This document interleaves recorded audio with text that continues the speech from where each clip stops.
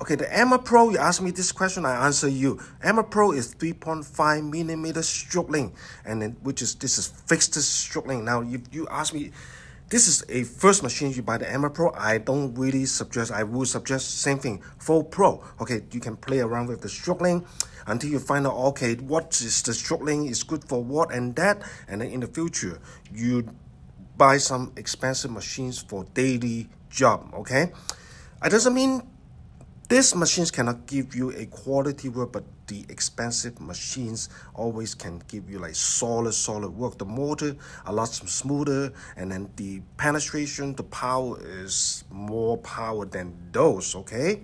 But always don't forget, buy extra battery. Even though you buy the full pro, buy extra battery. If you, uh, my budget is just have 129, okay, try the Flip 2, okay? This is about 129 as well, US dollars. Bye-bye.